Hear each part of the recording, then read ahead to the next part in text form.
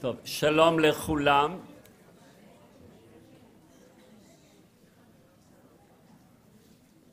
ברוכים הבאים לכנס על קהילת יהודי עדן.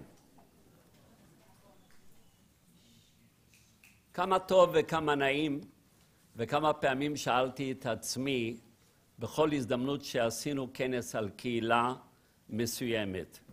וברוך השם עד עכשיו הצלחתי להתחבר ולמצוא במשפחתי חיבור. כמובן כשעשינו על קהילת יהודי מרוקו נמצאים פה טוניסיה, כלתי, הונגריה, דודתי, עדן, גיסי.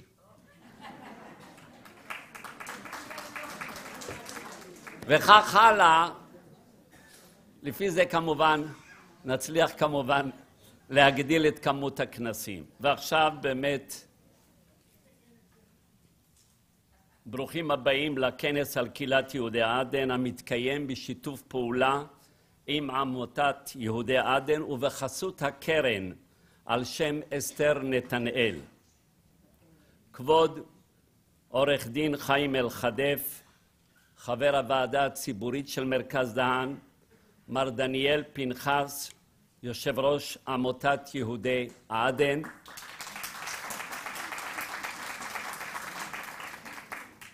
והמרצים, האורחים שלנו במושב הראשון, שבוודאי נציג אותם יותר מאוחר אחד-אחד. סיפורה של קהילת יהודי עדן מגיע רחוק רחוק עד לפני כאלפיים שנה. והנה בחפירות בית שערים כאן בארץ ישראל מתגלה אולם שבו היו קברים של יהודים שהגיעו משם לקבורה בישראל ואנחנו הלא מדברים על תקופת המשנה, דהיינו במאה השנייה והשלישית לספירה הנוצרית. בגניזת קהיר אנחנו מוצאים מסמכים המעידים על התכתבות בין סוחרים יהודים בעדן ליהודים ממצרים, ולמעשה בין המאה העשירית למאה השלוש עשרה היו יהודים שעסקו בסחר בינלאומי, כשעדן באמת הופכת למרכז סחר בין אזור הים התיכון למזרח הרחוק. היהודים העמידים, באותה תקופה לא רק שחיזקו את הקהילה שלהם והצליחו להגיע למעמד רם באמת בקהילתם ובסביבה שלהם, אלא הם גם ידועים על פי ההתכתבויות בתמיכה שלהם ביישוב בארץ ישראל באותה תקופה, בישיבות בבבל, בישיבות במצרים, בישיבות בארץ ישראל. אולם לא אאריך כרגע, בוודאי אנחנו ניגע בתקופות שונות וחלק מזה גם נקדיש לו גם במסגרת יום היציאה והגירוש של היהודים מארצות ערב, אבל אני אדלג למאה העשרים, ששם לצערנו אנחנו כבר רואים התערערות של קיומה של קהילת יהודי עדן בעקבות מעשה אלימות, ביזה, ואפשר לומר בהחלט בוודאי פוגרום נגד יהודים, מעשים שמתחילים כבר בשנות ה-30 של המאה הקודמת. ושיאם של המעשים הללו היה בדצמבר 1947, בעקבות ההכרזה על הקמת מדינת ישראל בכ"ט בנובמבר. באותה תקופה אנחנו עדים למעשה פוגרום, שבהם נרצחים 82 יהודים מקהילת יהודי עדן. למעלה ממאה פצועים, 106 חנויות נשדדות, ארבעה בתי כנסת נשרפים ו-220 של בתים של יהודים שנבזזים באותה תקופה. בכל הקהילה המספרים הללו בוודאי בקהילה קטנה שמנתה עד חמשת אלפים הנזק הוא רב ולכן אין פלא שמאז אותם מאורעות מתחילים יהודי עדן לעזוב, אם זה לארץ ישראל במסגרת המבצע על כנפי נשרים, ואם זה הגירה לבריטניה. אנחנו ב-26 בנובמבר כאן באוניברסיטת בר אילן, באולם וול, שהוא צמוד לאוניברסיטה, אנחנו עומדים לקיים יום לציון היציאה והגירוש של היהודים מארצות ערב, ואנחנו מדברים בצורה מאוד מאוד מפורטת על מכלול הקהילות. אנחנו נשמע גם הרצאות, נצפה גם בסרטים, קטעי משחק של תיאטרון ועוד דברים אחרים על מנת להמחיש ולחוות יחד את סיפורם של יהודי ארצות ערב, שלמעשה הקהילות הללו התחסלו תוך 25-30 שנה, נגמר הסיפור שנמשך כאלפיים שנה. והציבור בארץ, ולצערנו גם חלק מן הנוער, רבים מהם, לא מכירים את הסיפור הזה. ולכן אנחנו היום, ונמשיך ב-26 בנובמבר, אנחנו נחלק לכם גם את הכנס ומזמין אתכם להירשם כבר עכשיו כדי להיערך בצורה מסודרת ולא לעבור אולם ברגע האחרון כמו שקרה לנו איתכם, שפתאום באה הרשמה כזאת גדולה בלי עין הרע, שהיינו צריכים לעבור מאולם, חשבנו שיהיו 200 ובמקום זה נרשמו 400, ברוך השם. אז לכן, קחו את הטפסים יחד איתכם והירשמו כבר עכשיו מיד, גם כדי שאנחנו נוכל להתארגן לכל הקבוצות הללו שמגיעות, הן מבחינת מקום, הן מבחינת ציוד, כיבוד וכדומה. שימו לב לתוכנית שהיא מאוד מאוד עשירה. מרכז דהן, ידידנו עורך דין חיים אלחדף יתייחס ויספר לנו גם קצת מי הם אהרון ורחל דהן, הנדיבים המיוחדים. אבל מילה אחת או שתיים נגיד על מרכז דהן מאז ייסודו, לפני כ-17 שנים, הספקנו לקיים 180 כינוסים על קהילות ישראל בארץ ובתפוצות.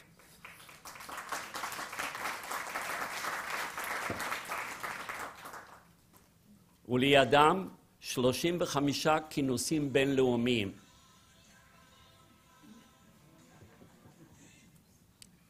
שלושים וחמישה כינוסים בינלאומיים באוניברסיטת הסורבון, בפריז, על קהילת יהודי צרפת, בבולוניה, על יהודי איטליה, במונטריאול, במרילנד, במקדוניה, בדרום אפריקה, בטביליסי שבגיאורגיה. וברוך השם, עד דצמבר נשלים 25 קבצים, ספרים על קהילות ישראל, קבצים מדעיים בעקבות מחקרים רבים שנעשו גם בארץ וגם בעולם, ובעקבות הכנסים שלנו אנחנו ריכזנו אותם, ונעשתה עבודה יסודית של עריכה מדעית, ונשלים בעזרת השם הקובץ ה-25 במספר, זוהי תרומתו של מרכז דהן למורשת קהילות ישראל.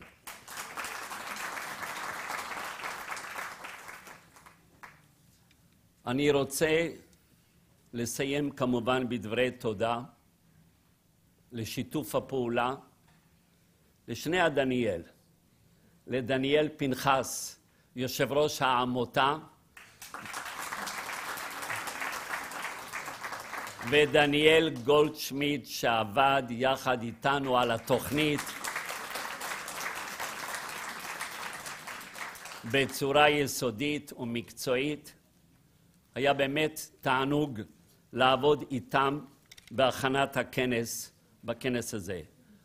אני כמובן מודה לשותפים הרגילים שלנו שעובדים יחד איתנו, נותנים לנו את התמיכה ואת החסות, כמובן משרד החינוך, המשרד לשוויון חברתי ומכון יד בן צבי, שאנחנו עובדים איתם במשולב ובשיתוף פעולה מלא בארגון הכנסים הללו.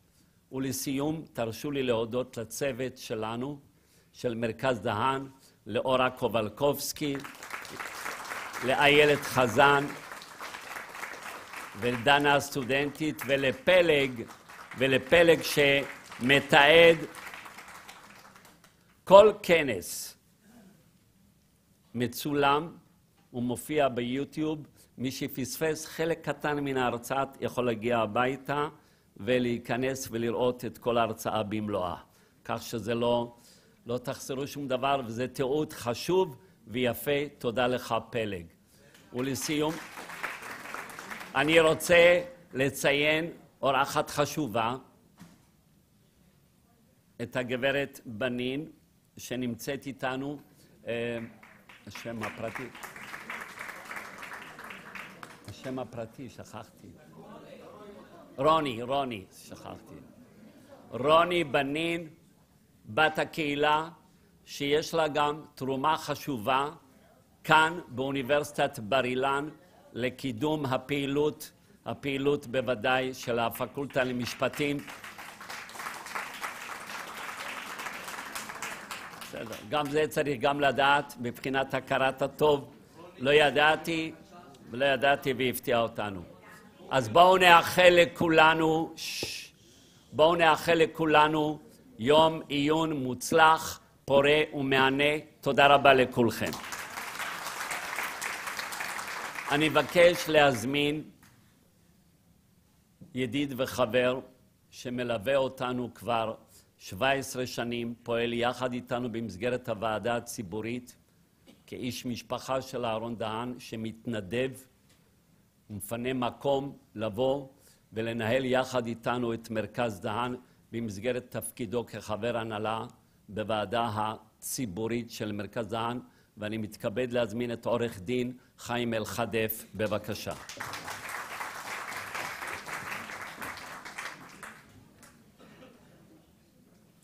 ערב טוב, ערב טוב קהל נכבד.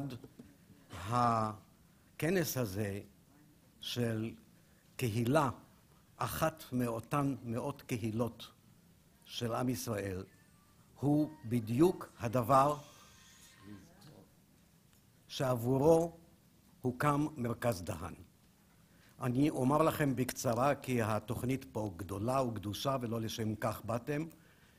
אה, קיומו של המרכז הזה נולד על פי יוזמתו של נשיא האוניברסיטה בשעתו, פרופסור משה קווי, אשר גייס כתורם, שהיה אז כבר תורם גדול במסגרת האוניברסיטה, האדונים אהרון ורחל דהן. אהרון דהן אהרון דהן נולד בטבריה בשנות ה-30 של המאה הקודמת, שירת במלחמת השחרור כקצין בצה"ל, ולאחר המלחמה עבר לעסקיו במרילנד שבארצות הברית, ועשה שם חיל, ושם גויס על ידי אוניברסיטת בר אילן, והיה יושב ראש חבר הנאמנים של אוניברסיטת בר אילן, ותרם רבות, והוא מגדולי התורמים של האוניברסיטה.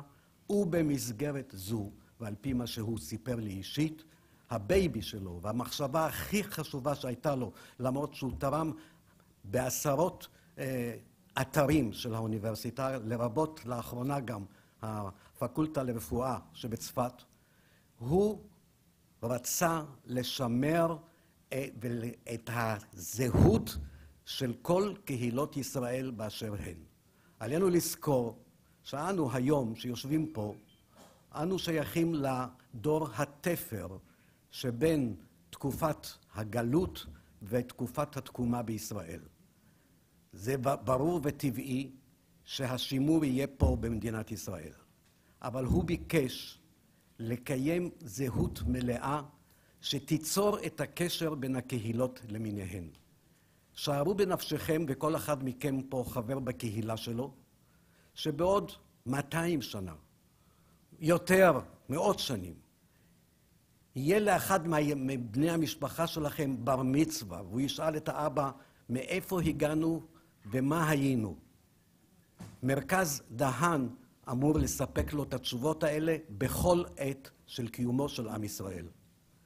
אנחנו בעצם אמורים לשמש מעין הגוגל של עם ישראל על קהילותיו. משום שהזהות היא זו שמאחדת אותנו והיא זו שפותחת בפנינו אפיקים גם לחברי קהילות אחרות. כאן בישראל תהיה זהות ישראלית, אבל לא, לא ניתן לקיים זהות בלי לדעת את המקורות, והמקורות האלה חסרים לכל אחד מאיתנו, ולכן זה נפלא כאשר אנחנו יכולים ומרשים לעצמנו לעבוד על זה, וכאשר תסתיים ישיבה זו של קהילת עדן הנכבדה, הרי בעצם אתם מנציחים את מה שיאמר פה ומה שייקבע פה ומה שיחקר פה לגבי הדורות הבאים. זאת לא תהיה אחת מאותן הישיבות שמי שנסתיימה אין כבר יותר חומר על זה. ולכן משפחת דהן, אהרון ורחל אשתו שהייתה לו לעזר רב, ראתה בכך שליחות אישית ותרמה את מלוא כספה למטרה הזו, בעזרתה כמובן של אוניברסיטת בר אילן, ואנחנו גאים שאתם הגעתם להנה, ויש באפשרותנו להעניק לכם את אותם השירותים שנעניק לכל אחת מקהילות ישראל, ואתם קהילה מכובדת כשלעצמה, אבל עליכם להבין שבלי הקשר שבין כל הקהילות, הרי לא נוכל להכיר את עמנו, משום שאנחנו נכנסים לאותם הפרטים שאפילו מתייחסים למנהגי הקהילות בשעתו. והדברים האלה הולכים ונעלמים, כפי שאמרתי, אנחנו דור התפר, ומכאן ואילך אנו בונים על קיומנו המלאה וה... בארץ ישראל. ולכן אני מאחל לכם שיהיה לכם דיון טוב ופורה, ותמשיכו בשלכם. בהצלחה.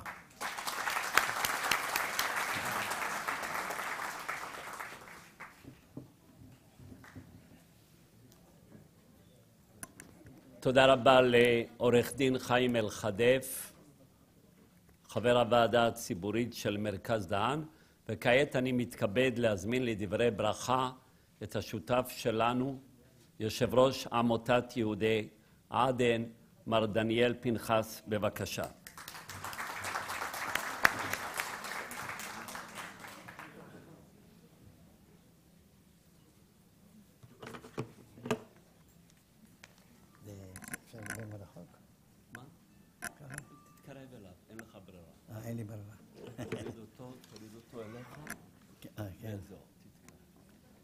צהריים טובים, ברוכים הבאים לכנס הגדול והמיוחד לקהילת יהודי עדן.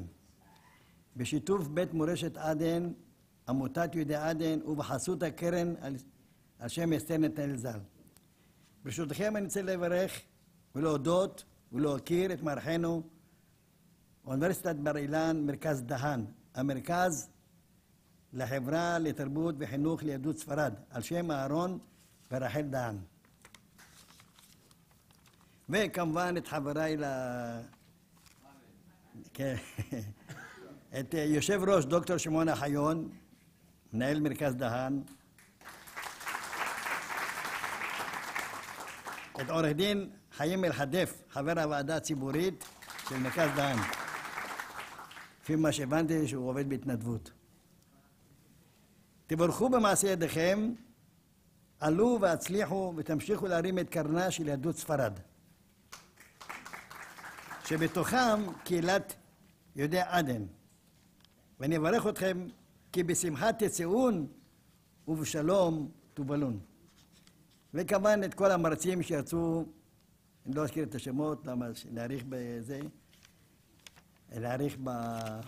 אבל מה, אני רוצה לברך, לעשות ברכה גם לכם וגם למרצים. קהל מבורך, ברוכים הבאים לכנס. הנה מה טוב ומה נעים, שבת אחים גם יחד. בשמכם נודה לכל המרצים שיופיעו היום, ירצו לנו לפניהם. תמשיכו בדרככם המבורכת ותבורכו בכל מכל כל. תהנו מכל מעשיכם על שאתם מוסיפים ידע וחוכמה לכל קהילות ישראל, ובתוכם קהילת יהודי עדן. כמובן יש לנו גם ברכה מיוחדת אה, על השותף שלנו, שותפים שלנו, דוקטור גולדשמיט,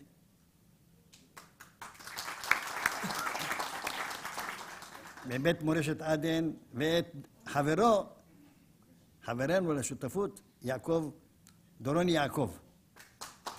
אולי, אולי, היות ואנחנו מדברים פה על תרבות ועל אה, ייעוד, אז אה, רק להזכיר שדורון יעקב הוא הנכד של מורי יצחוק יעקב. הוא היה המוהל, המהולל של יהודי עדן בארץ.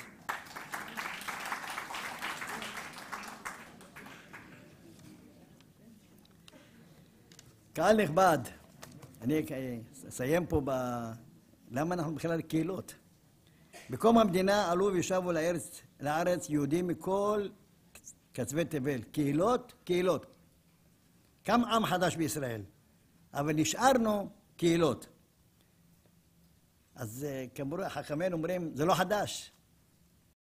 אם נסתכל על ההיסטוריה מהתורה, יעקב אבינו ירד למצרים עם 12 שבטים, גם קהילה. משה רבנו הוציא אותנו ממצרים, 12 שבטים, והנחילנו גם 12 שבטים. שואלים, למה הגענו למצב הזה של שבטים? היום זה קהילות. למה הגענו למצב הזה? אז אם אנחנו נסתכל על הברכות, אתה רואה שכל שבט קיבל ברכה מיוחדת. אז לכן יש לנו כהנים, לוויים, מלכים, שופטים, ימאים, שבט זלון, למדנים, שבט זכר, רועי צאן ועובדי אדמה.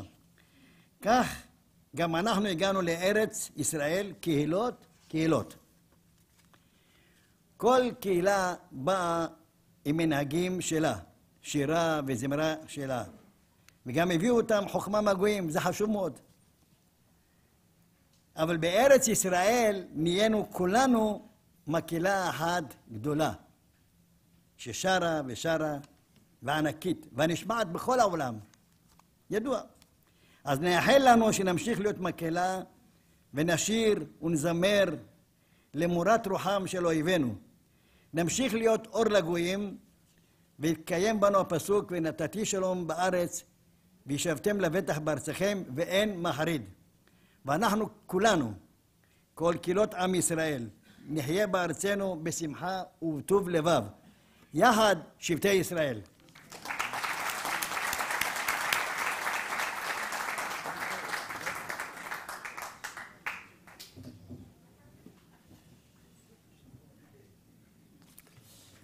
תודה לך, מר דניאל פנחס, גם על דברי הברכה, על הדברים החמים והיפים.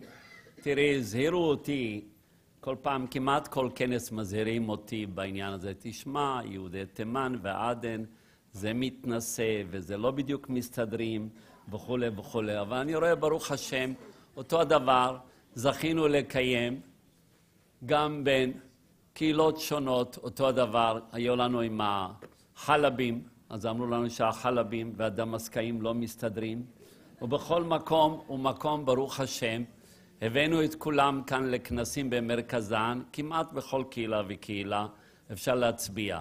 אז הנה, איך אמרת באמת, הנה מה טוב ומה נעים, שבט אחים גם יחד, וכאן המחלקות הולכות לאט לאט ונופלות, ואחדות יותר גוברת. אנחנו ניגש לעניין ונשמע את ההרצאה ההרצאה הראשונה של דני גולדשמיט. דני הוא מייסד ועוצר של בית מורשת יהודי עדן, בית שנפתח לפני כחמש שנים. פעילותו הקהילתית ובמיוחד עבודתו לשימור מורשתה של קהילת יהודי עדן ניכרים במספר מחקרים שאותם פרסם וגם באוסף הנדיר של צילומים והמסמכים שהוא הצליח לאסוף ולאצור אותם. חלקם מוצגים לקהל הרחב בבית המורשת של יהודי עדן.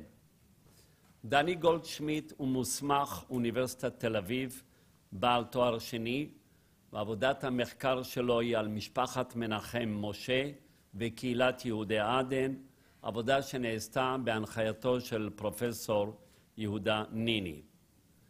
דני גולדשמיד הוא צאצא, צאצא למשפחת נשיאי עדן. משפחת מנחם משה ידועה גם במשפחת בנין. אז אמרתי, אפשר גם לשאת בוודאי בגאווה את השם הזה. העיסוק והשימור ובמיוחד כל פעילותו להקמת בית המדרש, בית המורשת, הפיצו בסופו של דבר את דבר קיומה של קהילה קטנה, שבמשך שנים רבים לא ידעו עליה, על קיומה בכלל, על קהילת יהודי עדן. והנה גם הכנס שלנו תורם משהו להפצת הידע על קהילה חשובה מאוד שפעלה במשך השנים ובוודאי נתנה את תרומתה לעם ישראל. אני מתכבד להזמין את מר דני גולדשמיט שירצה על משפחת מנחם משה, משפחה שמעצבת הזהות של קהילת יהודי עדן. בבקשה.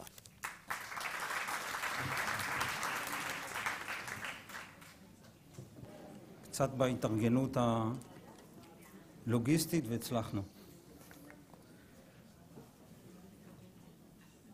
אני מניח שאנחנו לא צריכים אה, לזהות פה ולהגיד איפה עדן נמצאת, אבל באופן אה, כללי, בדרום חצי האי ערב,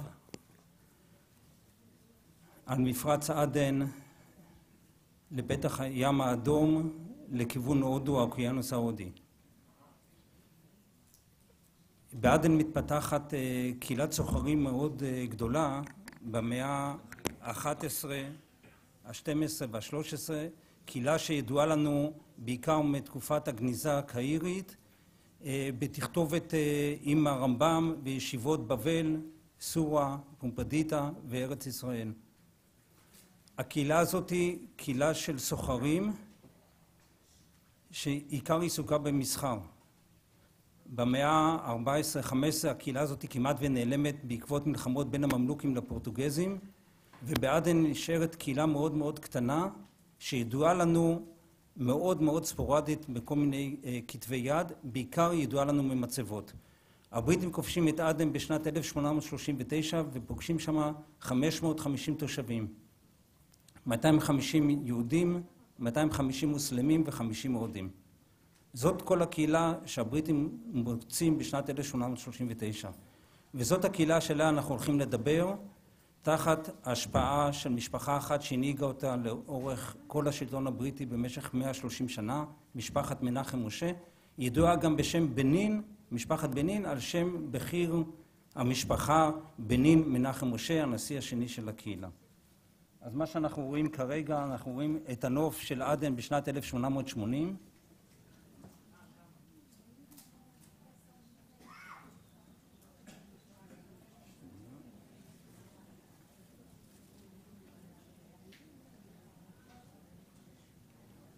שימו לב למפרץ, המפרץ מאוד גדול, מים עמוקים, ותראו את הכמות של הספינות שהוגנת כבר בנמל הזה בשנת 1880 בשביל להבין שכל אונייה שצריכה לעבור מאירופה דרך הים האדום לדרום אפריקה, אוסטרליה והודו חייבת לעבור בעדן.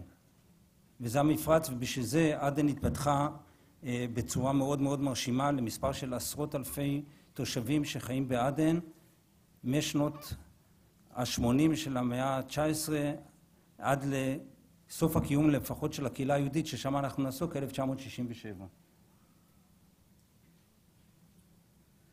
זאת דמות היהודי בעדן, אם אנחנו מדברים איך היהודים היו שם, אנחנו מדברים על קהילה שלמעשה היא חלק מקהילות תימן, תראו את הלבוש, תראו את הפאות, ככה יהודי אה, נראה בדמות של מי שהגיע לעדן עד למעשה סוף המאה ה-19.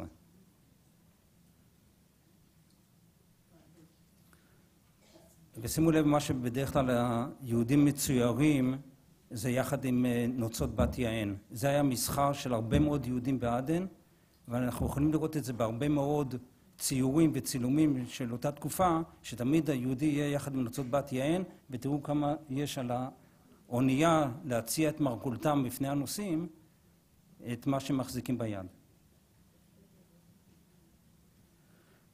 כמו שאמרתי, בראש הקהילה עמד, משפ... עמדה משפחת מנחם משה. התמונה הזאת היא תמונה משנת 1921. יורש העצר הבריטי מצד ימין, לימים אדוארד השמיני, זה שוויתר אחר כך על הכתר שלו, אה, מגיע לעדן ביום השבת. אה, הקהילה כולה הייתה קהילה דתית, לא היה חילון, הקהילה הזאת לא עוברת חילון, אין פתיחת חנויות בשבת, אה, הקהילה הזאת לא ידעה מה זה חילול שבת, אז כמובן שגם ביום השבת, גם כשמגיע היורש העצר, אף אחד לא הולך לקבל אותו בקבלת הפנים המלכותית, והנסיך שעובר ברחובות עדן עוצר למפגש עם בני הקהילה. במרכז התמונה בנין מנחם משה, מלווה על ידי האחיין שלו טוב, והם נמצאים בחזית של בית הספר היהודי שנבנה בשנת 1912, ועל זה אני ארחיב אה, בהמשך.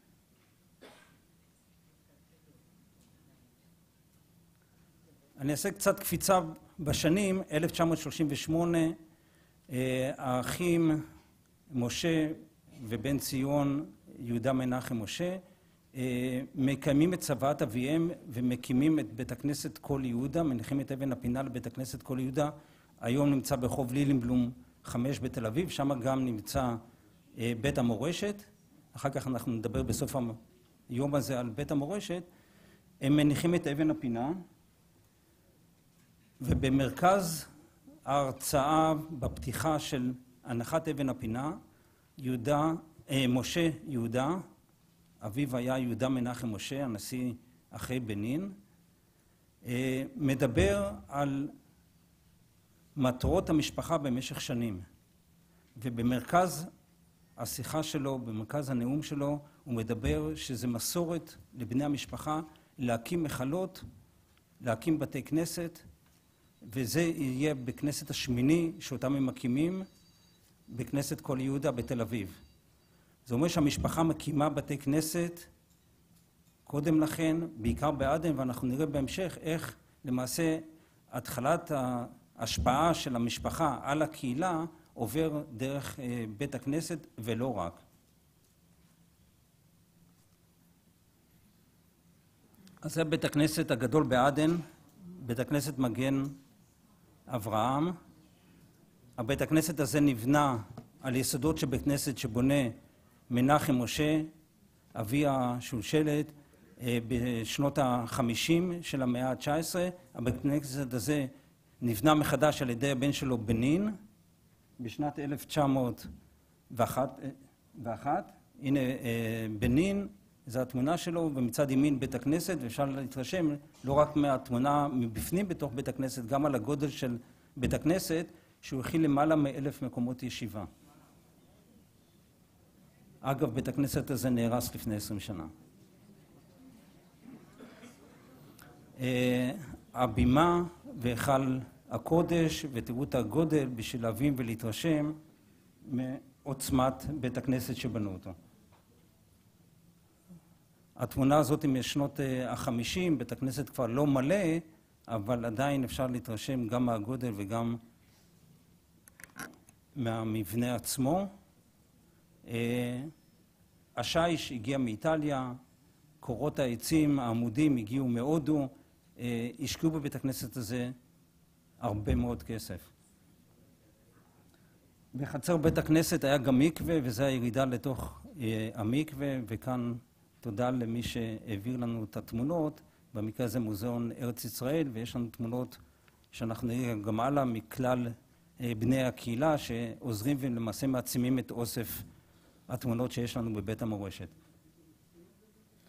אבל לא רק את בית הכנסת מגן אברהם הם בונים בעדן, הם בונים גם בתי כנסת נוספים, קטנים, מצד ימין בכנסת אל-פרחי, מצד שמאל בכנסת רדה, בכנסת רדה נשרף בפרעות בשנת 1947, גם בכנסת אל-פרחי, אה, אחר כך שיפצו אותו, ולמעשה בעדן במקביל לבית הכנסת הגדול, אחד מרכזי שקיים עבור כל בני הקהילה, דבר שהוא חריג בנוף של קהילות אה, תימן, עם הרבה מאוד בתי כנסת קטנים, במקביל לבית הכנסת הגדול נמצאים בעדן גם בתי כנסת קטנים שברובם משמשים את בני הקהילה התימנית שממשיכים לנהוג בנוהג שלהם גם כשמגיעים לעדן. זאת אומרת, אנחנו מקבלים בעדן שתי קהילות, קהילה אחת מקומית, את קהילת יהודי עדן, וקהילה תימנית מרצון, הם יכולים כמובן להגיע ומגיעים גם לבית הכנסת הגדול, אבל גם הם רוצים לנהוג לפי המנהגים שלהם, ומשפחת מנחם משה בונה גם עבור אותם תימנים שמגיעים לעדן בתי כנסת, בכנסת רדה,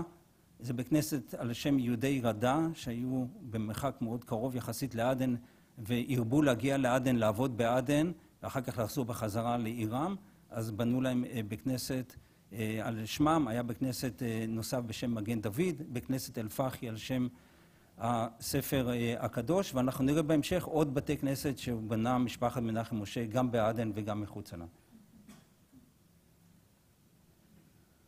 הנשיא אחרי בנין, ובנין אגב התמנה בכוח, כנראה שם המשפחה, בגיל 19 הוא התחיל להיות ראש הקהילה.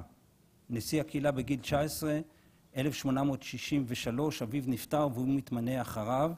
במשך 60 שנה בנין מנהיג את הקהילה עד 1922, שבע ימים, הוא נפטר בהושענא רבה, ממש בליל הושענא רבה, ומיד אחריו מתמנה לנשיאות יהודה מנחם משה, מי שאנחנו רואים פה משמאלנו, אחיו, אחיו הצעיר יותר, וגם יהודה במקביל לאחיו ממשיך באותן מפעלות קדושה והקדשים עבור בני הקהילה, והוא בונה את בית הספר, אנחנו רואים מצד ימין בית, בית הספר לבנים, בית ספר שנבנה בשנת 1912, השם שלו היה בית ספר לבנים על שם המלך ג'ורג' החמישי. בנין, יהודה מאוד מאמין בחינוך, ואלה הדברים שהוא, כמו הבן שלו, שלושים שנה אחר כך, גם יהודה בזמן פתיחת בית הספר מרביץ תורה בתלמידים, שפה מאוד גבוהה, אבל בעיקר מתכוון פה, מעבר לבית הספר, גם להמשיך את מסורת הלימוד של התורה. זאת אומרת, בית הספר לא בא להחליף את מקום התורה, הוא לא בא להחליף את הישיבה, ואנחנו נראה אחר כך גם את הישיבה שפותחים בעדן, אז הוא פונה לבני התורה, להמשיך לבוא ולהמשיך ולהשכים ולהגיע לבית הכנסת וללמוד תורה. במקביל, כמו שאמרתי, זה הנאום שהוא אומר, 1912, שהוא פותח את בית הספר. כמובן שהוא דואג גם ללימודי הדת, הוא דואג גם לברכות, אז הנה קונטרס קטן שהוא מוציא, נוסח ברכת הנהנין לתלמידי תורה, לתלמידי בית הספר שאותו הוא מקים. עם כל הגדולה של המשפחה, משפחה מאוד צנועה. שימו לב, יש פה את השורה של מצבות של המשפחה. מצד שמאל קצת קשה לראות את זה. יש לנו את המצבה של בנין, במרכז יהודה. שימו לב, המצבה, ואחר כך נראה גם מצבות אחרות, מאוד דומות לכלל המצבות שהיו בעדן. אנחנו נראה גם נוסחים מאוד דומים שכותבים על המצבה. לא מבדיל בהרבה ממצבות של בני הקהילה האחרות. זאת אומרת, ברגע שמגיעים לעולם שכולו טוב, אז כולם שווים, וככה גם המשפחה נהגה במשך עשרות בשנים.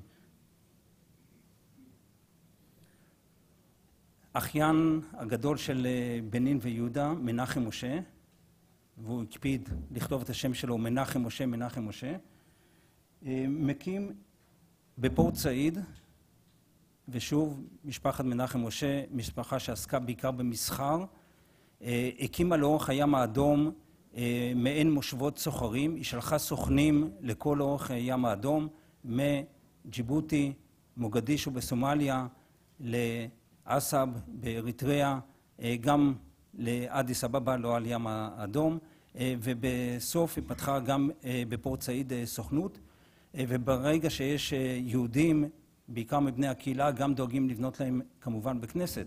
אז אנחנו רואים את אותו בכנסת שבונה משפחת מנחם משה, במקרה הזה שלושה אחים, מנחם שראינו אותו קודם, סלים וטוב, שאנחנו נדבר עליהם בהמשך, בונים בכנסת בפורט סעיד, ושוב, תראו את הגודל של בית הכנסת, תראו את העוצמה של אותו הקדשים עבור בני הקהילה שהם דואגים לה.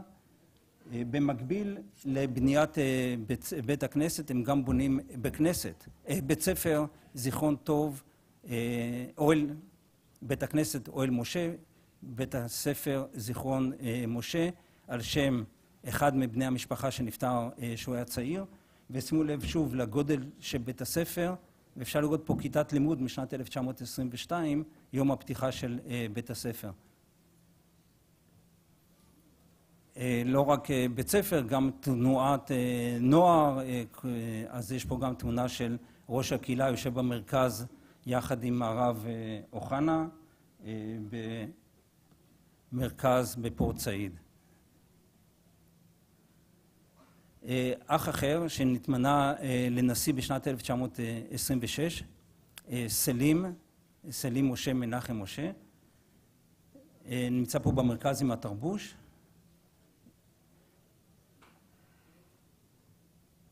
הוא ממשיך את מפעלות המשפחה, ולמרות שיש בית כנסת משפחתי גדול מאוד, בית כנסת עבור כל הקהילה, הוא רואה קדמה ושינוי בתוך הקהילה.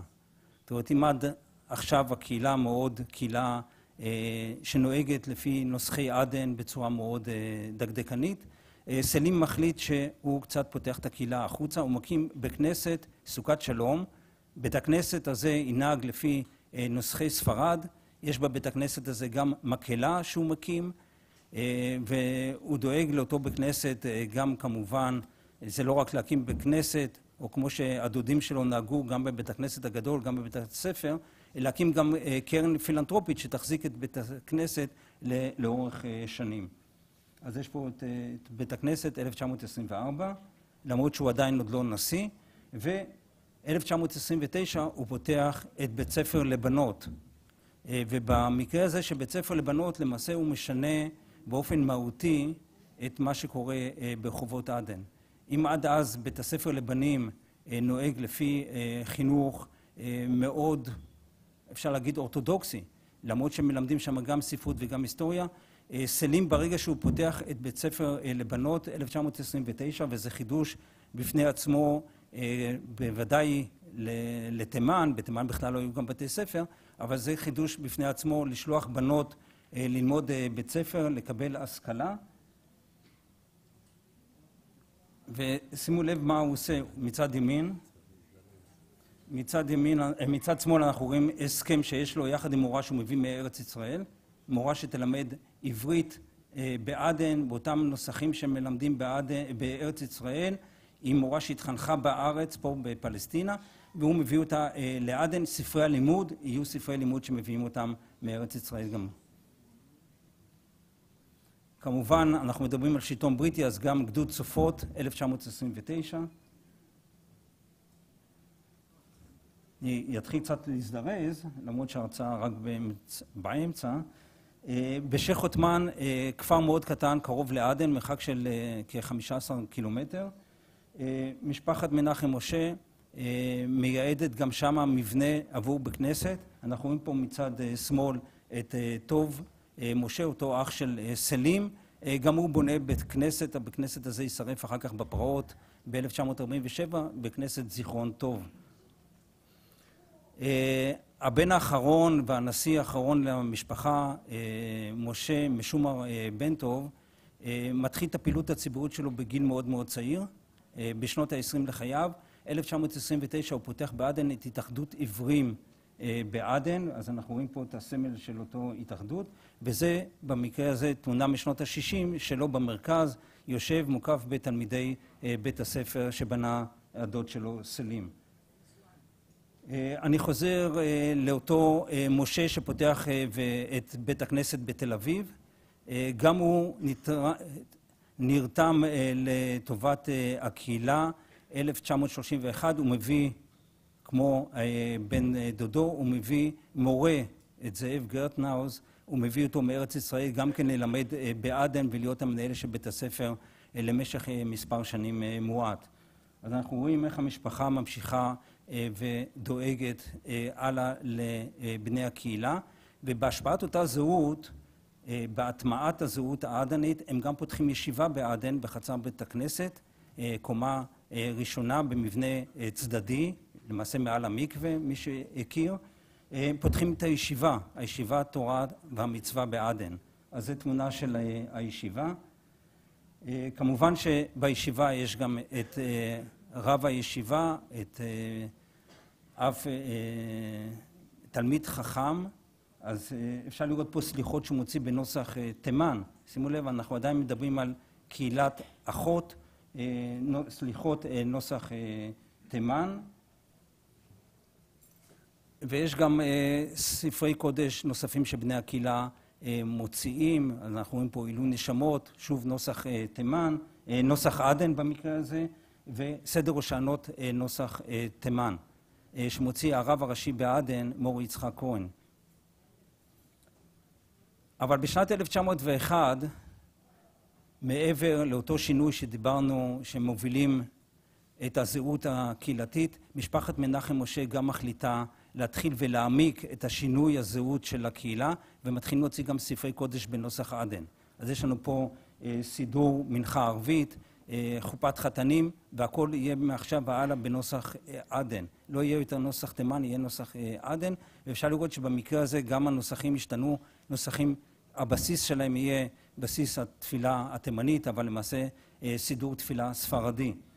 אה, 1901, למעשה זה פתיחת בית הכנסת המחודש, אז לא פלא שהם גם מוציאים, אה, לכבוד בית הכנסת, הם גם מוציאים סידורי תפילה. ואפשר לראות כאן הלאה והלאה, אנחנו, אני אראה אה, כל מיני אה, ספרי קודש שמוציאים על נוסח עדן, ושוב חתומים ומוציאים לאור את אותם סידורי תפילה, יהיו תמיד משפחת מנחם משה לאורך שנים. אז יש לנו פה הוספות, יש פה לנו קינות לתשעה באב בנוסח עדן, אגדה של פסח כמובן, גם כן בנוסח אה, עדן, אז אפשר לראות את זה אה, בהמשך. אה, ידברו על זה אחר כך בזה, אבל לא ניכנס לזה כרגע, אבל אני רק מנסה לבוא ולהראות איך משפחה אחת תורמת ולמעשה משנה זהות מוחלטת של קהילה, מקהילה אחת לנוסח של קהילה בפני עצמה, שעומדת בפני עצמה, למעשה קהילה צעירה שתעמוד מעכשיו בפני עצמה, קהילת יהודי אה, עדן. אה, בהמשך אה, יש פה את קיצור שולחן אה, הטהור, אה, שמבקש אה, להוציא אה, אחד, גם כן הבן של אה, בנין, משה אה, בנין, אה, והוא מוציא, אה, הוא, הוא פונה לתלמיד חכם שיכתוב לו את אה, קיצור אה, שולחן ערוך, זה שולחן הטהור, אה, בהגייה ובמבטא אה, עדני. זה לא יצא ולא הדפיסו את זה, אבל כתב היד נמצא אה, בידינו.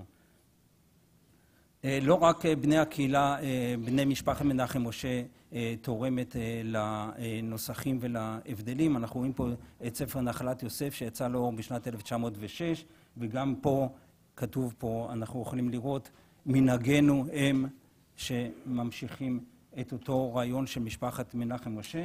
אה, סידור תפילת החודש יוצא לאור בשנת אה, תרע"ד, 1914.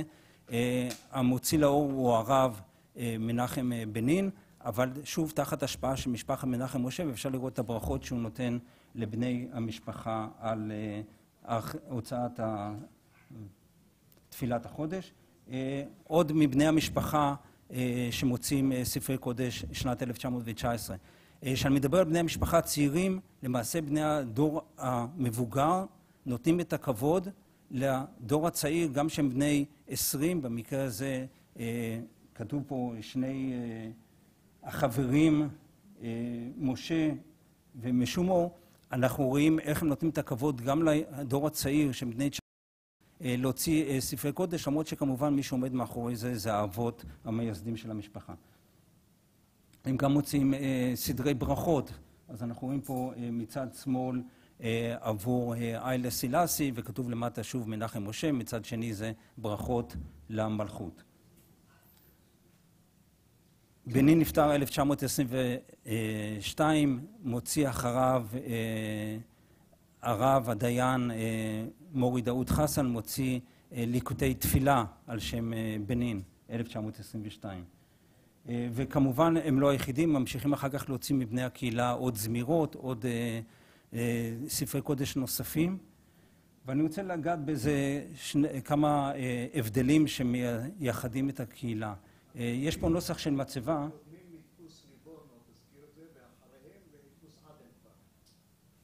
תודה על ההערה, צודק מאוד. אה, העירו ואמרו נכון, רוב הספרים הודפסו בליבורנו, חלקם המועט בירושלים, ומסוף המאה ה-19 כבר התחילו להדפיס גם בעדן, בדרך כלל אבל ספרים יותר קטנים, יותר קונטרסי תפילה. אנחנו רואים פה מצבה כ"ח לשטרות, אנחנו מדברים על שנת 1300 ומשהו, נוסח עדן על מצבות, ידוע מאותה תקופה, יהיה אותו נוסח לאורך מאות בשנים, ולא משנה כרגע אם הקהילה מנתה מספר מועט מאוד של אנשים, או היא מנתה אלפי אנשים, אותו נוסח, ברוך דיין האמת, נלקח מעל עמו, נאסף לבית עולמו, והתיאור של אותו אדם שנפטר, ואנחנו נראה את זה, הנה פה מצבות, מצבה מצד שמאל, מצבה משנות ה-60, שממשיכים את אותו נוסח, ותראו את ההבדל בין מצבה של אדם תימני שנקבר בעדן, איך בתימן כתבו על המצבה.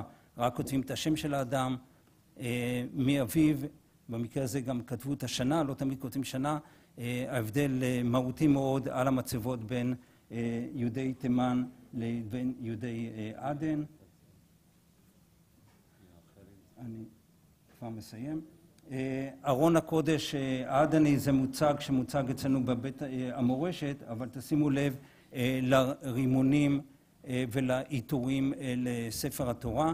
ארון התורה, ארון הקודש בעדן הוא ארון לקטני, אנחנו רואים שם ספרי תורה שמגיעים מתימן, אנחנו רואים ספרי קודש שמגיעים, תיקים לספרי קודש, ספרי תורה שמגיעים ממצרים. במרכז אנחנו רואים פה את הכתר שמייחד וקיים רק בקהילה העדנית, כמו גם הרימונים שראינו אותם קודם, שימו לב לעבודת הצורפות. ושוב, גם במקרה הזה מצד שמאל רימון שמתאים ומיוחד אך ורק לקהילה העדנית, לעומת זה מצד ימין רימונים לספר תורה תימנים.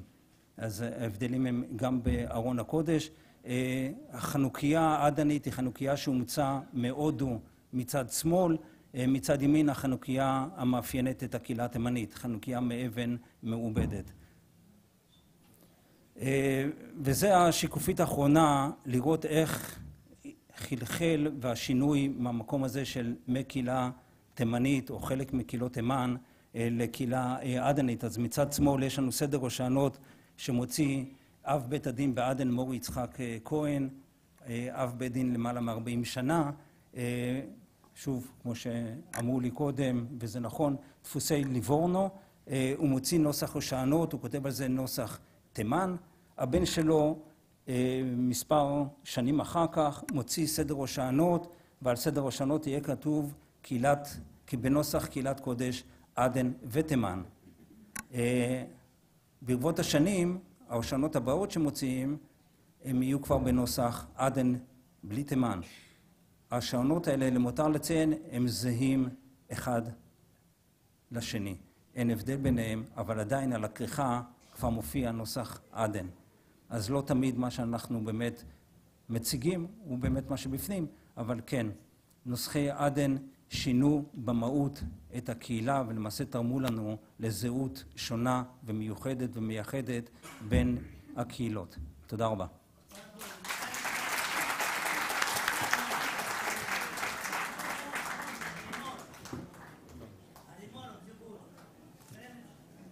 תודה רבה לדני גולדשמיט על העבודה הנפלאה. אני יודע ש...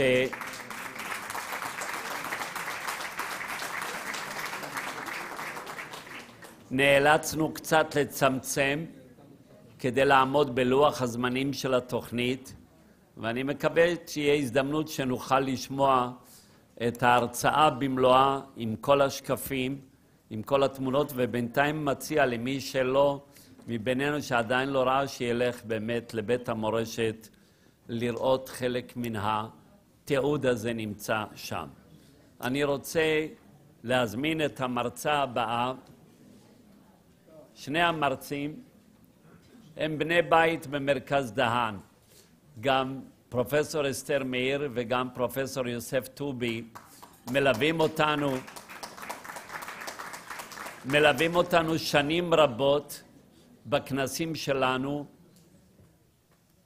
על יהודי ארצות ערב, על קהילות יהודיות בכלל במזרח ותורמים לנו בכנסים, הן בארץ ובחוץ לארץ, ובאמת זאת שמחה וגאווה שהם איתנו גם היום. הפרופסור אסתר מאיר גליצשטיין היא מאוניברסיטת בן גוריון, היא מרצה שם במכון בן גוריון לחקר ישראל ובמסלול ללימודי מדינת ישראל, שמתקיים גם הוא כמובן באוניברסיטת בן גוריון. הפרופסור מאיר עוסקת בחקר הקהילה היהודית העיראקית בעיראק ובישראל בתחומים שונים ומגוונים, התחומים הפוליטיים, החברתיים, התרבותיים, וגם נושא העלייה לישראל של יהודי תימן. היא פרסמה שני ספרים על יהודי עיראק, אחד עוסק בנושא הציונות בעיראק, ספר שיצא לאור גם בשפה האנגלית, והספר השני עוסק בקליטת יהודי עיראק בישראל. כמו כן, העיסוק שלה בקהילת יהודי תימן מביא אותה גם לפרסם ספר על יציאת יהודי תימן ועלייתם לישראל בשנים 1949-1950. אם כן, נושא ההרצאה שלה יהיה יהודי עדן ופליטי תימן, סיפורה של מערכת יחסים אמביוולנטית. אז נתכבד ונזמין את הפרופסור אסתר מאיר.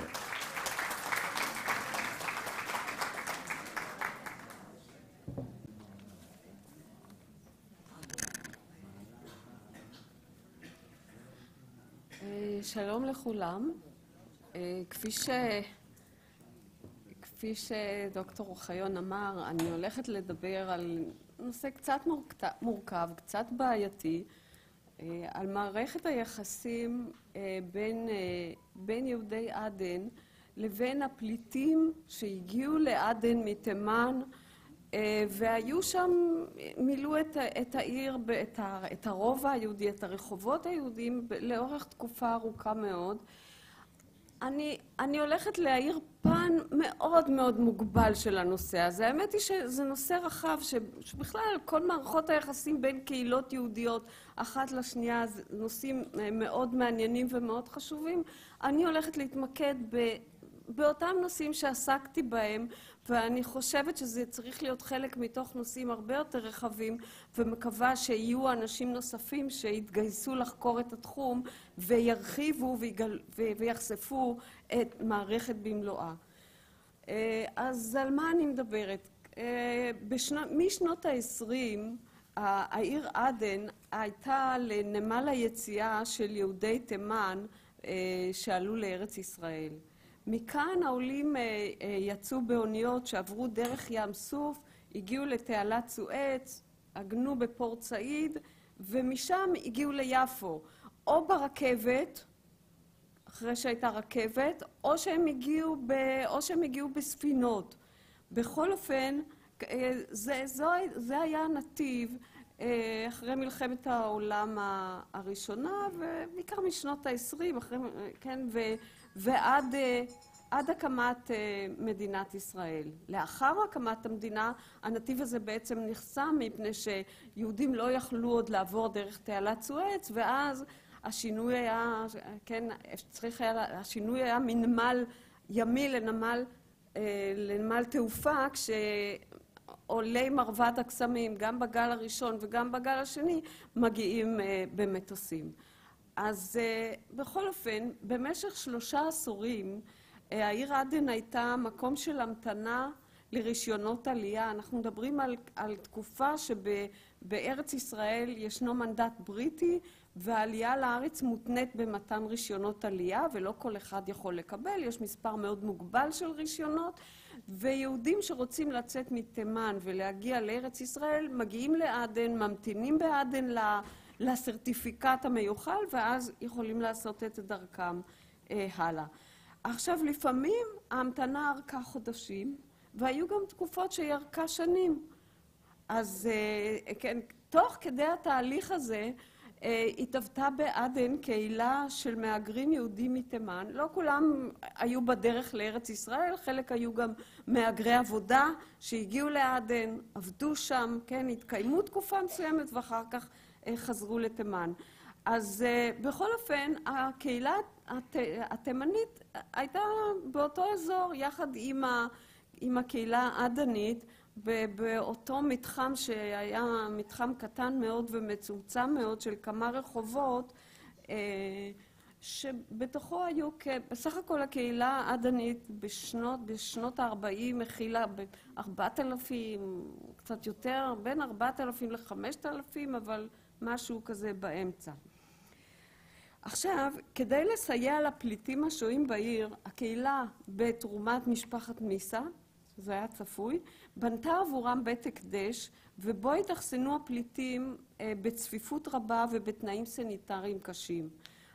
אחרים שלא היה להם מקום בתוך בית ההקדש, השתכנו במרתפים חשוכים, בלתי מאובררים, והיו כאלה שגם במרתפים לא נמצא להם מקום והם פשוט התגוררו ברחוב.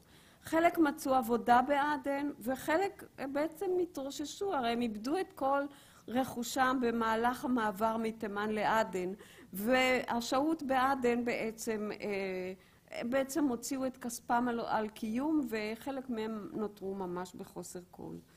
אז אה, אנחנו מדברים על, אה, על תנאי חיים קשים מאוד ש, שחווים המהגרים הללו. בעיית הפליטים החמירה בתקופת מלחמת העולם השנייה. עם סגירת שערי אירופה ליציאת יהודים, הצטברו בידי הנהלת הסוכנות היהודית כמה אלפי סרטיפיקטים. כן? יהודי אירופה לא יכלו לצאת, ואז הנהלת הסוכנות היהודית החליטה להעביר את הסרטיפיקטים הללו ליהודי תימן. הידיעות על הקצבת הסרטיפיקטים הגיעו לתימן ועוררו תנועה גדולה של אלפי יהודים אשר מכרו את כל רכושם ועברו דרומה לכיוון העיר עדן, לכיוון המשרד הארץ ישראלי שפעל בעדן כדי לקבל שם את הסרטיפיקטים ולצאת לארץ ישראל. בשנים 1943-1946,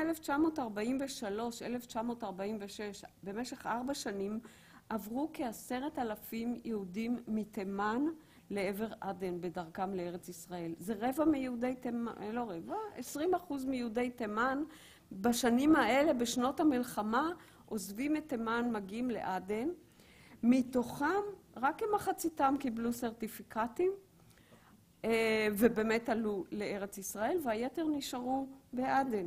בעצם היתר, כחמשת אלפים אנשים נשארו בעדן כפליטים, מחכים לאיזושהי ישועה, אבל ב-46' נגמרה כבר המלחמה, ואת יתרת הסרטיפיקטים שנשארה, ונשארה יתרה קטנה מאוד, אנחנו הרי מדברים על מדיניות הספר הלבן, אז היתרה שנשארה, כמה עשרות אלפי אה, סרטיפיקטים, הבריטים חדלו להפנות את זה ליהודי תימן, ואמרו, את זה אנחנו מפנים עכשיו לניצולי שואה, היה ברור שהם יבקשו להגיע ל...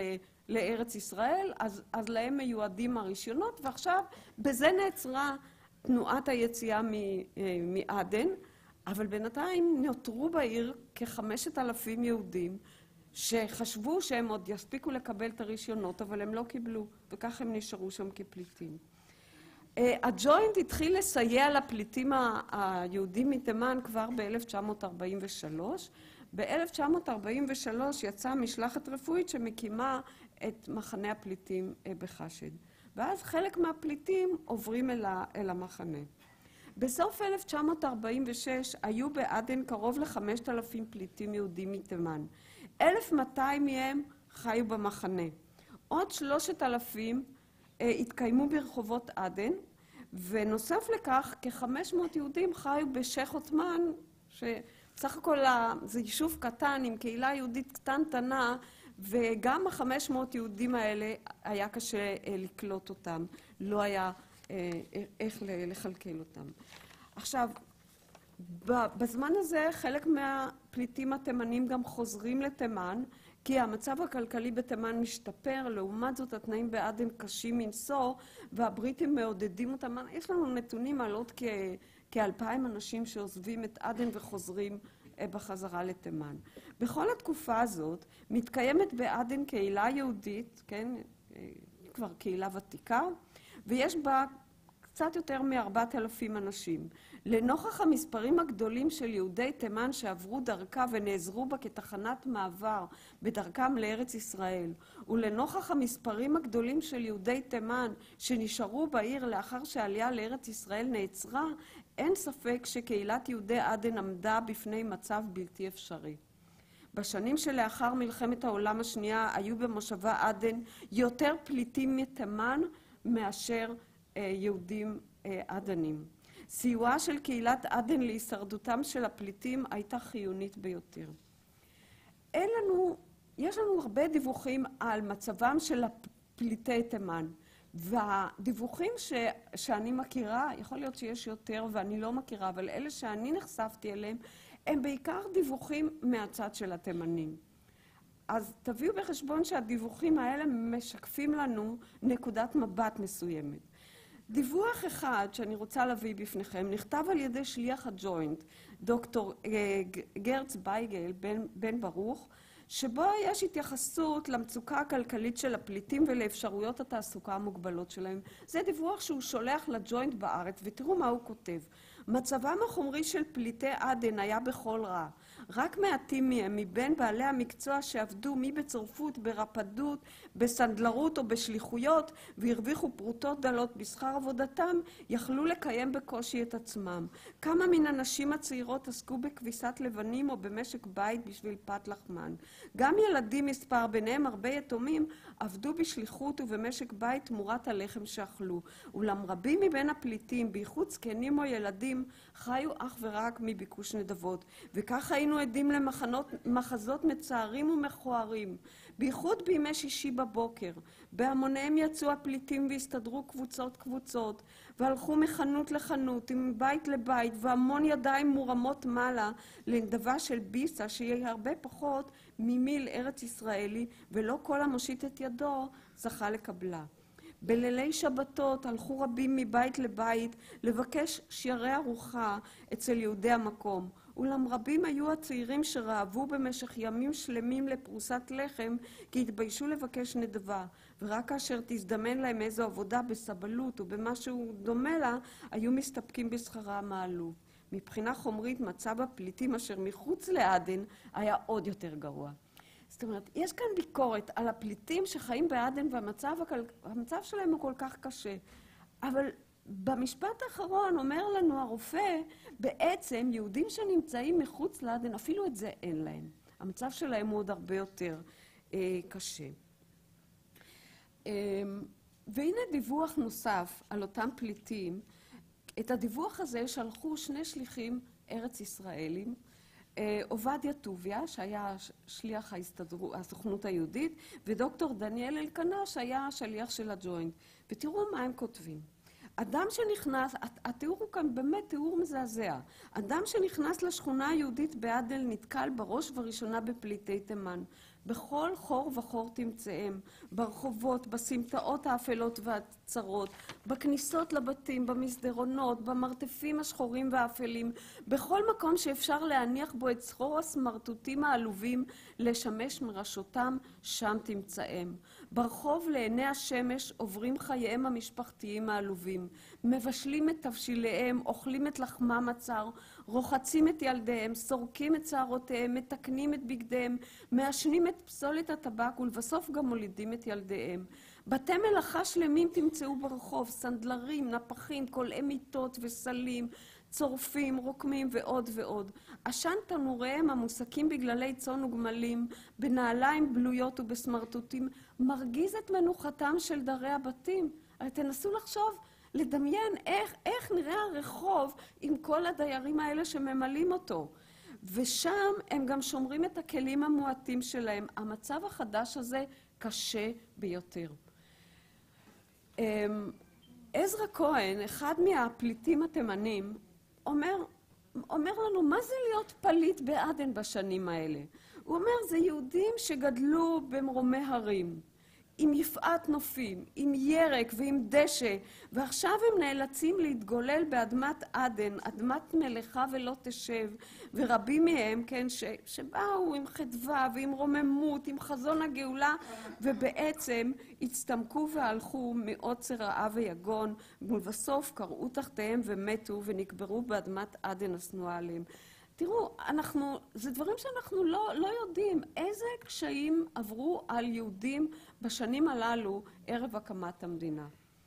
חיים צדוק, שהיה שליח הסוכנות היהודית בעדן ב-46', גם הוא מציין איך העלייה לארץ הופכת את בעלי הבתים הללו מתימן, הופכת אותם בעצם לקבצנים, לפושטי יד, לאנשים שנשארו ללא כל אה, אפשרויות קיום, וחלק לא קטן מהם גם מתים במהלך התקופה הזאת. והיבט נוסף של זה, ההשפלה הגדולה של אותם אנשים שהפכו לפליטים חסרי כל. עכשיו, הדבר הזה הטריד את כל מי שהיה בעדן. הבריטים. הבריטים חששו מכמה דברים. קודם כל, הם חששו מכך שהפליטים הללו שחיים במושבה ייפלו לעול על תקציב העיר, או שהם יעבדו כמהגרי עבודה, ואז הם יפגעו בתושבים המקומיים. המצב הבריאותי הרעוע של הפליטים התימניים והמצב הקשה שבו הם התקיימו בעדן גם הטריד את הבריטים, כי הם חששו מפני מגפות. אה, והדבר הנוסף שהטריד אותם, כל הסיטואציה הזאת שמכניסה את כל העיר למתח, הם חששו שזה יגרום להתפרצות של איזשהו מהלך עוין של האוכלוסייה המוסלמית כנגד האוכלוסייה היהודית, והאמת היא שזה זה יקרה, זה קורה ב-47', מה שבדיוק מהדברים ש, שהוזכרו קודם. כן, בשבעה, בשני בדצמבר 47' הפרעות ביהודי עדן ושייח' עות'מאן. עכשיו, גם הקהילה היהודית חוששת מדברים די דומים. היא חוששת שה, שה, מהאפשרויות הכלכליות. צריך לקיים את האנשים, צריך לעזור להם. אבל בסך הכל, זה נכון ש... כמו, ש, כמו שדני אמר, קהילה שיש לה איזה אליטה מאוד מאוד עשירה. אבל רוב יהודי עדן לא היו מיליונרים, הם לא היו עשירים, היה מעמד ביניים, היה מעמד נמוך. איך קהילה כזו קטנה יכולה לקיים קהילה שמבחינה מספרית איזה, מכפילה את הקהילה, עולה עליה אפילו. אז, אה, אז הם חששו גם, גם מההיבט הכלכלי. עכשיו, הם קלטו חלק מהפליטים כשוליות וכמשרתים בבתים שלהם. חלק מהם הם שיכנו בהקדש שהזכרתי, הם חילקו מזון. למרות כל הדברים האלה, מצבם של הפליטים היה קשה מאוד. גם הם חששו מפני המגפות, וגם הם חששו מפני התעוררות המוסלמים ופגיעות ביהודים, בכל יהודי עדן, גם המהגרים וגם ה... בקיצור, החיים של יהודי עדן הפכו לחיים, בעיה אחת גדולה, החיים ברובע היהודי הפכו לחיים שיש בהם צפיפות, לכלוך, מחלות, אפילו קושי לעבור ברחוב. וכמובן שהמצב הזה ייכלם. אחד מיהודי עדן מתאר את המצוקה. הוא אומר, בכל בית, הפרוזדור אל הבית היה מלא בתימנים עם מחלות, סיגריות. מעולם לא שילחנו אף אחד. בשובי הביתה, אני או עדנים אחרים, לא יכולנו להיכנס הביתה, כי רגלי אנשים וחפצים היו בדרכנו. היה עליך להלך לאט, להתפתל ביניהם כדי ללכת לביתך. הוא אומר, עשינו זאת באהבה. עכשיו, מבחינתם של יהודי עדן המצב היה ללא נשוא, כן? בגלל שהם היו צריכים לתמוך בכל כך הרבה אה, אנשים. עכשיו, היו ביניהם גם פערים נוספים, לא רק הפערים הכלכליים, גם פערים תרבותיים. אנחנו מדברים על קהילה שעברה תהליכי מודרניזציה, שנחשפה לתרבות המערב, שחיה חיים מודרניים למרות שהם, רובם של יהודי עדן זכו לאזרחות בריטית, כן? אבל מצד שני, אנחנו גם ראינו, הם ממשיכים לשמור על, על, על שמירה קפדנית על המסורת, על המנהגים בתחום הדת, אבל מכל יתר הבחינות האחרות זאת קהילה מודרנית. לעומת זאת הקהילה, העולים שמגיעים מתימן, זה, הם לא נחשפו למודרנה. זאת אומרת, הפעם הראשונה שהם נחשפים למודרנה זה בתוך העיר עדן עצמה. אז גם כאן יש כאן אה, אה, קונפליקטים אה, לגמרי לא פשוטים. עכשיו, עוד שלוש דקות. תראו, זה לא מצב יוצא דופן. אני לא אכנס לזה, אבל באירופה קורה אותו דבר. יהודי מזרח אירופה שמתחילים להגר לאמריקה ועוברים בדרכם את הקהילות של אה, מרכז ומערב אירופה, אה, שם הם זוכים ליחס מאוד מאוד לא אוהד.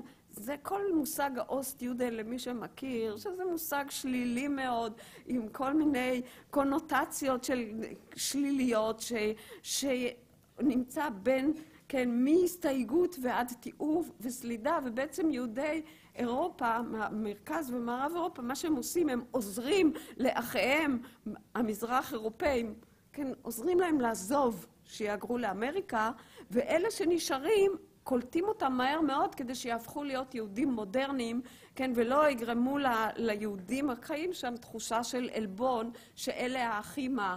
כן, המס, המס, השמרנים, המסורתיים, הפרימיטיביים, שמגיעים מהמזרח. אז, אז תופעות מן הסוג הזה הן לא חדשות. אמ, עכשיו, אני אמ, אסיים בשתי דוגמאות קטנות וקצרצרות שמביא לנו אה, חיים צדוק, שליח הסוכנות, שאמרתי שהיה בעיר ב-46. הוא מספר לנו על שני אירועים. בואו תקשיבו ותראו עד כמה הדברים בעייתיים.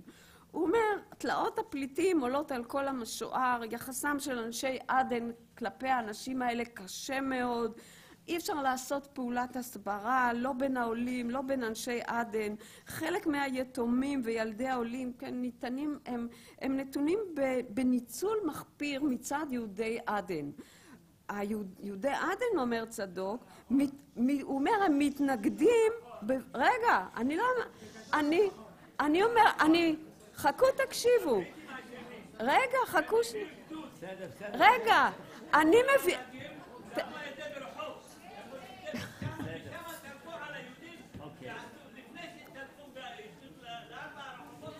רגע. היא מביאה, רגע, רגע, אני לא מרצה, בסדר. אני חוויתי את זה. אני הייתי בן שמונה תשע. הם הגדירו תפילה בבוקר אצלם, וגמרו את התפילה, באו לארבע הרחבות של היהודים. התחילו לשרוף בתים, היו בתים קטנים עם ערבים, שרפו אותם. אני מציע... כן. קודם כל, הבריטים. אני... אני קודם כל אני מודה לך, אני מודה לך, אני מקווה שפרופסור אסתר מאיר, והבנתי, אנחנו ברחנו, ברחנו מהבית שלנו, חזרנו ביום שישי, כל הקהילות איך אומרים, מהערבים של הבדואים, יכול לשמור על היהודים. אני מציע, איך קוראים לך? משה. משה מה? משה בן אהרון. משה בן אהרון. קודם כל תודה רבה, זה שאתה משתף אותנו בחוויה האישית ומוסיף לנו תמונה. אה, אני מקווה שפרופסור אסתר מאיר יכולה להוסיף את העדות כן. שלך לעדות של חיים צדוק שהיה שליח ומתאר והיא מספרת. כן, בסדר. אז לכן אנחנו נשמע, קודם כל תודה רבה. אני מבין שדיברת מנהמת לבך ואנחנו מקבלים את זה. בבקשה. אני, אני רוצה להגיד שאתה צודק בעוד כמה דברים, לא רק בעניין ש... תראו, הבריטים מצד אחד מנעו את המעבר של היהודים האלה. כש... היהודים האלה הגיעו לעדן בהנחה שהם הולכים לקבל סרטיפיקטים. ואז היו סרטיפיקטים, פתאום סגרו את הסרטיפיקטים. עכשיו, השארתם חמשת אלפים יהודים בעיר, זה על אחריותכם. תסייעו, תקלט... הבריטים... לא, לא... זה לא נכון. לא, אתה לא מקשיב.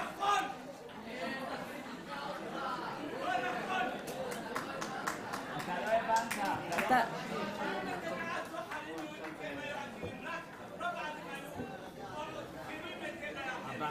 קודם כל תודה רבה.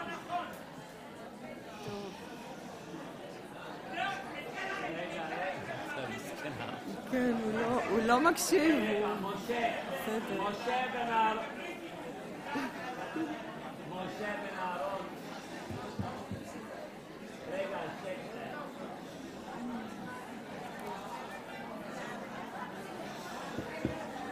אני מבקש. רבותיי, שקט.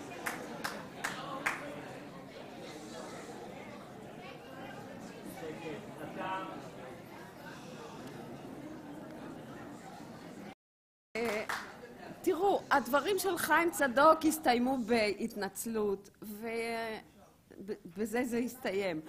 ההתנצלות כלפי...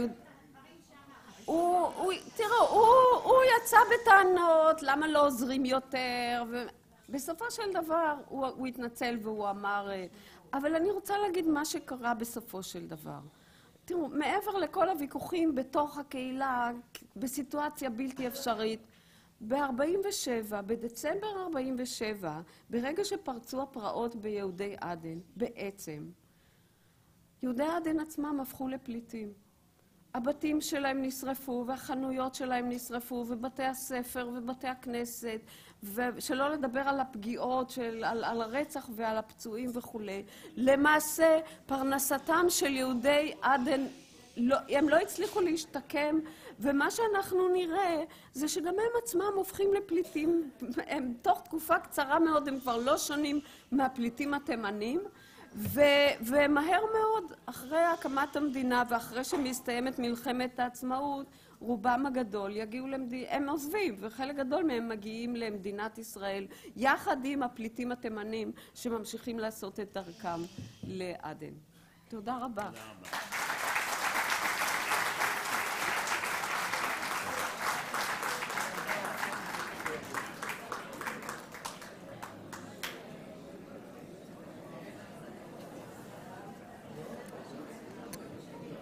לפרופסור אסתר מאיר.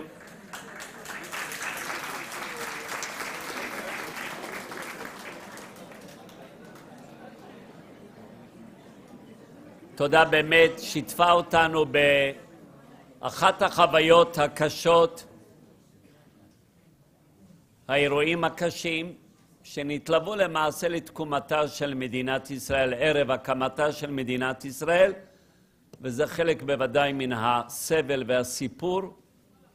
והסיום אולי בעצם, אחר כך מתחיל תהליך ההתחסנות על דמות מיוחדת, שההרצאה שאותה יציג בפן, בפנינו הפרופסור יוסף יובל טובי.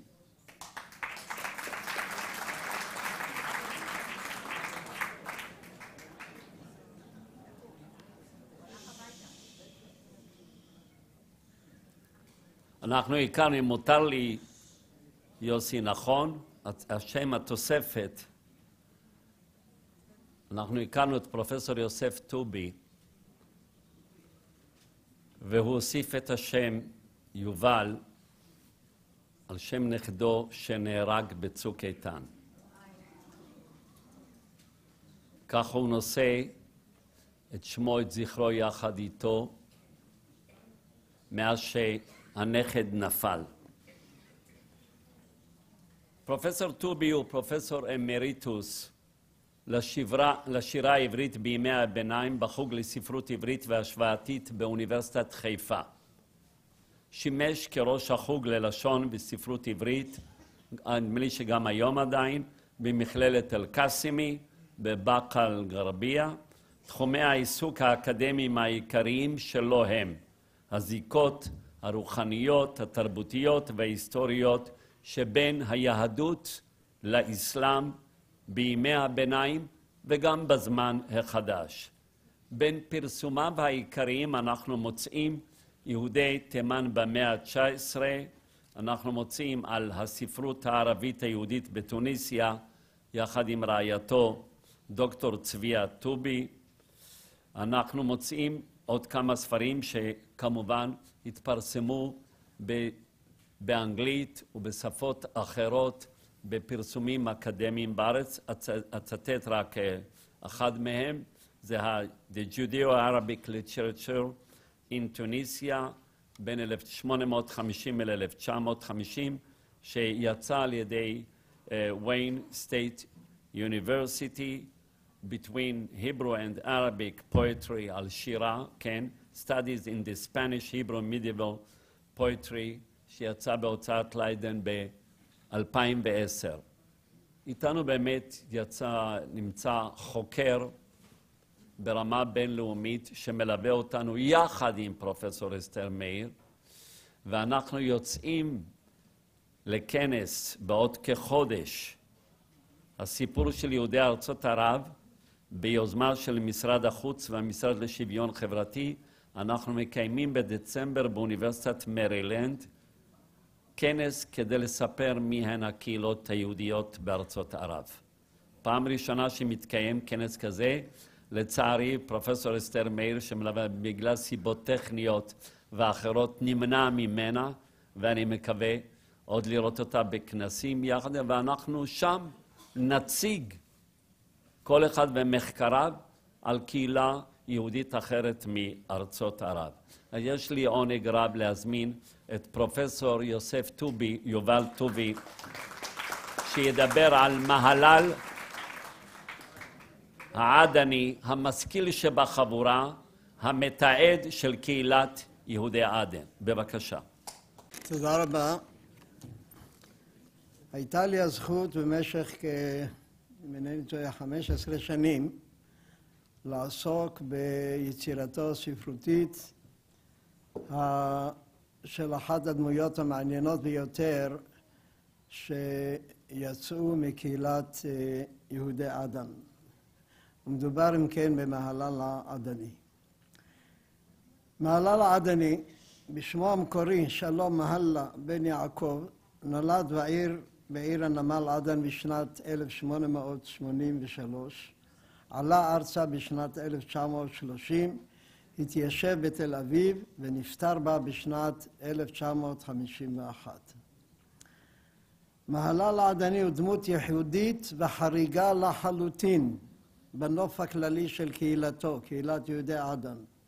ולמעשה עמד כל חייו בריחוק מסוים מבני קהילתו, דבר שהקנה לו את היכולת להביט מלמעלה ממרומי אישיותו במבט פנורמי המאפשר, המאפשר לבחון באופן ביקורתי, ניטרלי, את תכונותיה והוויותיה והווייתה של קהילתו בלא משא פנים, אבל משוא פנים שיכול להיות נובע מאהבה שמקלקלת את השורה.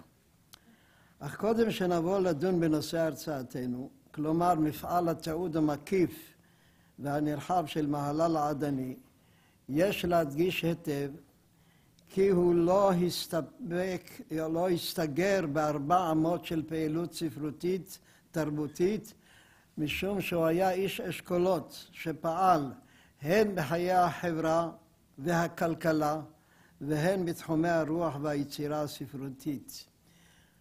אבל צריך גם לומר שאת כל השכלתו בכל התחומים הללו, בכלכלה, בתעשייה, ביצירה הספרותית, בפעילות החברתית, את ההשכלה הזאת, את הכישורים לעסוק בכל הנושאים הללו, הוא רכש בעצמו כאוטודידקט ולא במוסדות השכלה מסודרים שלא היו קיימים באותו זמן בקרב קהילת יהודי עדן. יש איזושהי תמיהה מסוימת שיהדות עדן אני מקווה שלא אדון משה בן אהרון ולא אחרים ירימו קול צעקה על מה שאני אומר, אבל יש תמיהה מסוימת על כך שיהדות עדן לא השכילה עד סוף דרכה בגלותה בשנת 1967 להקים מתוכה אנשי רוח שהשכלתם מודרנית ואף לא אנשי תעשייה מודרנית. למרות שהקהילה הזאת חיה במשך תקופה ארוכה, במשך כמאה שלושים שנה, כפי שהזכיר דני, דני גולדשמיד, חיה בחסות השלטון הבריטי מאז הבריטים כבשו את עדן וסביבתה בשנת 1839. אמנם עשתה קהילת יהודי עדן חיל מבחינה כלכלית, ואין צורך להכביר מילים, כבר שמענו את הדברים מקודם על משפחת משה הידועה גם בשם משפחת בנין, או משה, כפי שעדנים מבטאים, מבטאים מסה, כן? הם עשו חיל, והמשפחה הזאת במיוחד מבחינה כלכלית וקהילתית, אבל העושר הזה נבע בעיקר מפעילות מסחרית ולא מפעילות תעשייתית. מודרנית. מהלל העדני הקדים למעשה את בני קהילתו, וכל הקהילה יכולה להתפאר בו. כל עם ישראל, לפי דעתי, צריך להתפאר בו. הוא הקדים את, את, את בני קהילתו בדור אחד או שניים, ועל אף פעילותו המבורכת והמגוונת בתחומי החיים השונים, לא היווה מעולם מהלל העדני, לא היווה מעולם חלק אורגני מהנהגת הקהילה, אלא פעל כאיש עצמאי שאינו נתון למרות ההנהגה. אך השפעתו על חיי הקהילה הייתה רבה מאוד. במישור החברתי פעל בעיקר בשני תחומים, חינוך מודרני, דיבור עברי והחדרת הרעיון הציוני לתודעת בני קהילתו ולחיי היום-יום שלהם. שני התחומים הללו, ההנהגה הרשמית, לא כל כך התלהבה מהם, בלשון המעטה. לא בכדי מנע ממנו בנין הזקן, ראש משפחת משה, לשאת את בת אחיו יהודה, שאימה, אימה של הבת הזאת, אשתו של יהודה, הייתה בת למשפחת הורוביץ האנגלית, ולא הסכים שמהלל העדני יישא אותה לאישה אלא רק לאחר זמן. אף במישור הכלכלי הצטיין הלל העדני בפעילותו החלוצית, הסוטה בתכלית, כפי שכבר רמזתי לכך, מן הדגם המאפיין את העיסוקים הכלכליים של יהודי עדן, כלומר המסחר לרמתו, לרמתו, לרמותיו השונות, למן המסחר הזעיר ועד המסחר הבינלאומי החובק זרועות עולם של משפחת משה, משפחת בנית. כחלוץ שאין אחריו מחנה, פיתח מהלל תעשייה זעירה, כשהוא מתבונן במכונות המיובאות מאירופה, וקיים את הכלל כזה ראה וקדש. והוא מקים ראי נוע, והקים בית חרושת לסיגריות, בית חרושת לקרח, מפעל סריגה. כל אלו נשתלבו כאחד באישיותו ובפעילותו. על פי הנמסר, ביקר בארץ, בארץ ישראל כבר בשנת 1895 ואחר כך ב-1903, כלומר כשהוא עדיין ילד או נער. כפי שסיפר בנו עמנואל בריאיון שערכתי איתו בשנת 1996, משנת 1923, כשהגיעו ילדיו של מעלה לגיל חינוך, שלח אותם לארץ ישראל, את בני משפחתו בכלל, את אשתו ואת שבעת ילדיהם, ושני הבנים הגדולים חבשו את ספסל הלימודים בגימנסיה הרצליה בתל אביב. הוא עצמו נאלץ להישאר בעדן, לעסוק במפעלי התעשייה שלו, בתעשייה הזעירה כפי שהזכרתי. לאחר שלוש שנים חזרה המשפחה כולה לעדן בשל הקושי שלהם, דבר שאפשר להבין אותו, לנהל חיי משפחה בלא האב. אך בשנת 1928 שבו ועלו כל בני המשפחה לארץ ישראל, למעט האב שהתעכב עוד שנתיים, ורק ב-1930 עלה ארצה לאחר שחיסל את עסקיו בעדן. עם השתקעותו הסופית בארץ, החל מהלל העדני לעסוק בכלכלה מודרנית, ואני מדגיש כל הזמן את העניין המודרני בפעילות שלו בכל התחומים. מפעלי תעשייה זעירה, רכישת קרקעות להתיישבות יהודית, ואפילו פתח את קולנוע אסתר בשותפות עם נתנאל בכיכר דיזינגוף. מכל מקום נראה כי מכוח ישיבתו בתל אביב, מרכז הפעילות הספרותית היוצרת באותם ימים, החל בכתיבה אינטנסיבית בסוגות ספרותיות שונות. יש להדגיש שאת כל חיבוריו כתב לאחר עלייתו ארצה, כאשר הוא כבר ספוג בחיי התרבות העברית המתחדשת במולדת מחד גיסא, ומאידך הוא מנותק מן החיים בתוך קהילתו, קהילת יהודי עדן במקום גלותה, והוא מסוגל, כפי שאמרתי קודם, להתבונן בה בלא מורא, במבט פרספקטיבי שאינו משוחד. כמובן, הכיר היטב את קהילתו על כל אישיה וגווניה. לא רק מכוח פעילותו הציבורית והכלכלית הענפה, אלא גם בגין קרבתו המשפחתית למשפחת משה. כפי שאמרנו, הוא היה חתן של יהודה, אחיו של בנין, שהמשפחה הזאת למעשה ניהלה את חיי הקהילה בכל עניין. חיבורים רבים כתב. רשימת חיבוריו, המלאה כלולה בצוואה מיוחדת שהפקיד בידי בנו רפאל מהלל, זיכרונו לברכה, ביום י"ט אלול תש"י, זאת אומרת 1950, כחודש ימים סך הכל לפני פטירתו.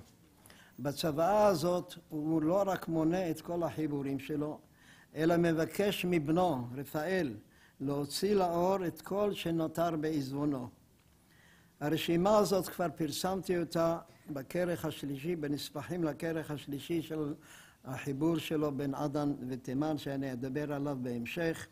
אני רק אזכיר כאן, אקרא כמה דברים מתוך הצוואה. לכך הוא כותב, לכבוד מר רפאל מהלה, זה בנו, תל אביב, בני היקר. הנני מבקש ממך בזה לדאוג לכך ולעשות את כל אשר בידך, על מנת להוציא לאור את כתבי עטי אשר עדיין לא הוצאו לאור, ובפרט פירוש על חמישה חומשי תורה, פירוש על נביאים ראשונים, על נביאים אחרונים, על תהילים, משלי והמגילות, על איוב, על דניאל, עזרא ונחמיה וכולי וכולי, פירוש על פרקי אבות, ספר הנפש החיה, ספר פילוסופי שהוא קורא, מכנה אותו ספר מחקר. עוד ספר פילוסופי או שני ספרים פילוסופיים, רעיון רוח ואורות הקודש. והוא מזכיר גם בסוף הרשימה הזאת קובץ של סיפורים שיש בו למעלה משלוש מאות סיפורים, ועל העניין הזה אני ארחיב את הדברים מיד.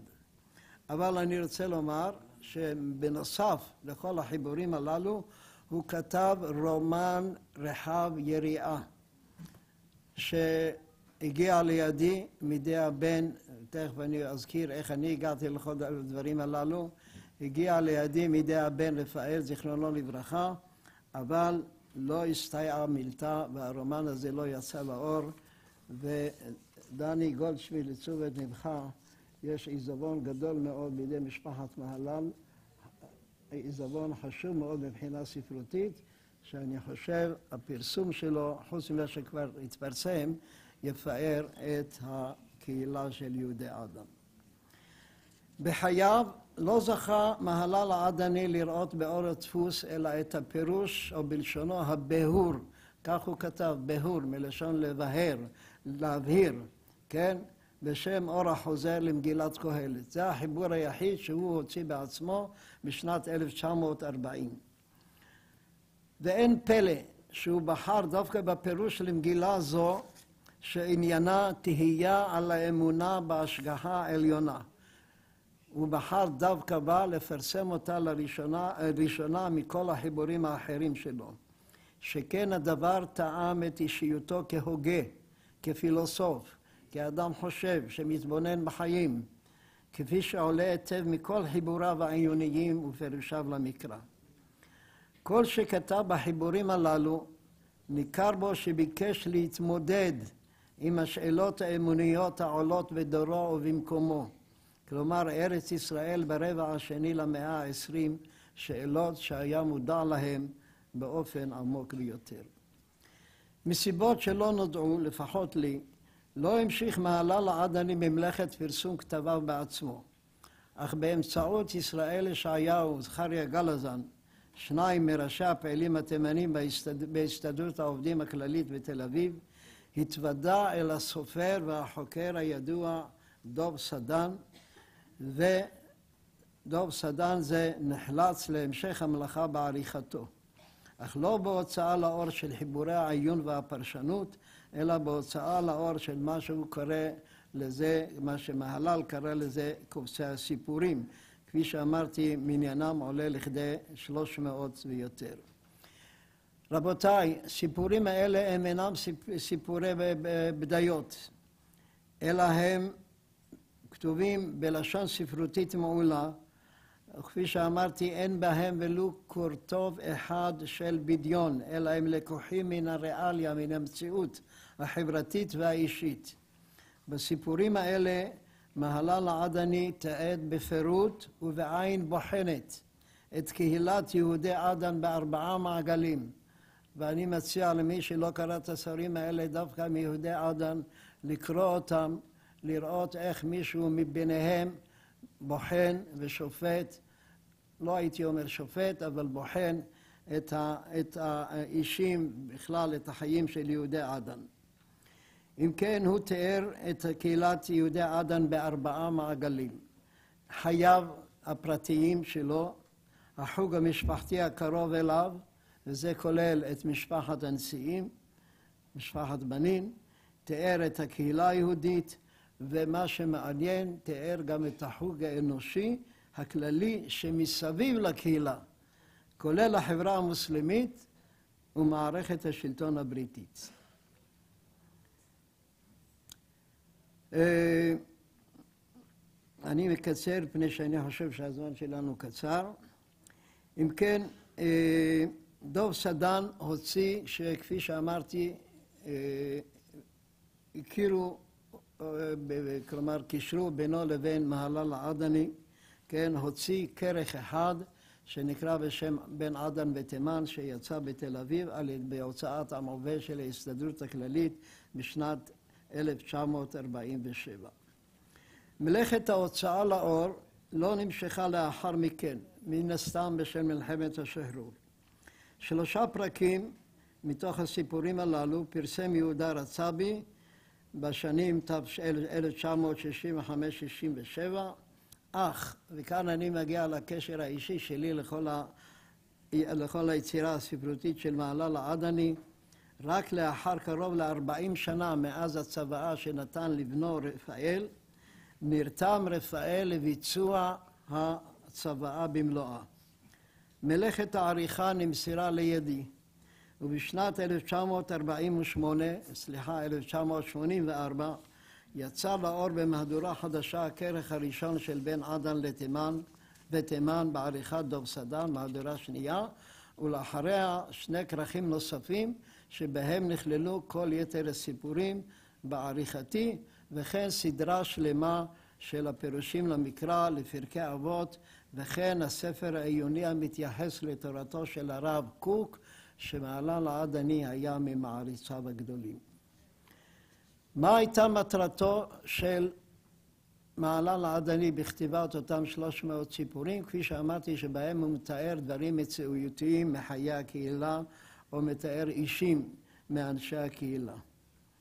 כך הוא כותב באחד ההקדמות שלו: כזקן בעקיבותו, והמילה בעקיבותו הכוונה בזה שהוא עוקב, מתבונן בחיים. כזקן מנוסה בעקיבותו, ולא כזקן בזקנותו, לא מפני שהוא רב בשנים. היה מאסף הספר, הוא מתכוון לעצמו. הוא עורר, הוא מדבר על עצמו בגוף שלישי. הוא עורר את ליבו להיות תמיד ער, להיות מן העוקבים, מן המתבוננים. עוקב אחרי עצמו, בוחן, מבקר את עצמו, עוקב אחרי אחרים. עוקב אחרי רגשות אחרים, ועוקב אה, רגשות עצמו, ועוקב אחרי רגשות אחרים, וכולי וכולי. אם כן, והוא למעשה מאפיין את האישים השונים שהיו בקרב יהודי עדן. לב המאסף, הוא כותב בהמשך דבריו, נמלא רוח עקיבות. עוקב אחרי הצדיק אשר באמונתו יחיה, ועוקב אחרי הדש בעקביו, כלומר מי שמזלזל במצוות בדת. הוא, כך הוא מדבר על עצמו, עשה את כל ההתבוננויות הללו, עשה אותן חוליות חוליות, קשר אותן כאילו הם שרשרת וסופם שמאליהן הצטרפו לשרשרת שלשלת חיי אדם, שלשלת חבלי אדם, כאן אני מביא ממש את לשונו, אשר להבל דמה וימיו כצל עובר. בשלב, כשלב המאסף נתמלא עקיבות על גדותיו, כאשר הוא כבר היה מלא רשמים מן האישים השונים של קהילת יהודי אדם, לא הייתה לו ברירה, הורגש בתוכו הלחץ, כך הוא שוב כותב על עצמו, הורגשה עקת לב, ואז לא הייתה לו הברירה אלא להריק חלק, להוציא חלק כדי, מתוך ליבו כדי למצוא הקלה ונחת רוח.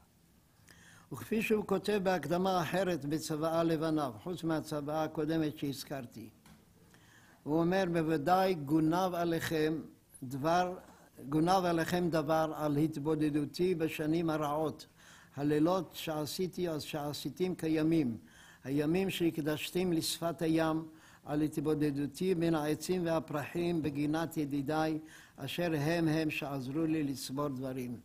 מה שהוא מתכוון לומר כאן, כן, שהוא העניינים החומריים שהוא עסק בהם, כפי שהזכרתי, היו לו מפעלי תעשייה זעירה, לא אלה היו הדברים שמילאו את ליבו, אלא ההתבוננות שלו באנשים, הן הטובים והן שאינם טובים. לסיכום, סיפורי מעלה לעדני אינם אפוא תיאורים, אינם אפוא תיאורים ריאליסטיים בלבד, אלא הם יצירה ספרותית רבת ערך, המתעלה מעל למקומן ולזמנן של הדמויות המתוארות בהם. הרי זו תעודה אנושית, שבצד התיאור החיצוני של דמויות אותנטיות בתוך סביבה ואירועים ממשיים, יש בה, ביצירתו הספרותית, הצצה רגשית, לירית, פנימה, אל צפונותיהם של בני אדם ודרכי התנהגותם, וכל האישים שהוא תיאר אותם מקהילת עדן, למעשה אינם אלא משל לאנושות בכלל. בסיפורים אלו ראה את הירושה שהוא מותיר לבניו, ולא ברכוש החומרי. ובלשונו, מי ייתן ויהיו נכסי הרוח הצרורים בדפים אלה שקולים כנגד, כנגד נכסי החומר הגשמי, ויחסנו את רוחכם, למען תוכלו לעמוד בפני רוחות החיים, כאשר עמד אביכם, מתייחס לעצמו, ותילחמו כמותו למען האמת והצדק. למען תבחרו בחיים, למען תסגלו עצמכם להתהלך בדרך החיים והטוב, ואותה תורישו גם לבניכם אחריכם. אחריכם. איש הוגה היה מהלל העדני. איש הרוח שידע גם לפעול בתחום המעשה והחברה. זאת יש ללמוד לא רק מחיבוריו העיוניים בעלי המגמה המוסרית הפילוסופית, אלא גם, ואולי בעיקר, מסיפוריו שלא נועדו לתאר, לתעד ולתאר את חיי הקהילה היהודית בעדן בלבד, אלא לשרטט מערכת מוסרית של בני אנוש. דומני שלא קיבל מעלל העדני את מקומו הראוי לו מבחינת התודעה של יהודי עדן, של יוצאי עדן, אבל גם לא כמובן בקרב העם היהודי בכלל ובעם היהודי השוכן בציון. נקווה ששאר היצירות שלו שעדיין לא יצאו אור, יצאו לאור ונעשה דברים לשם פרסום יצירתו. תודה רבה.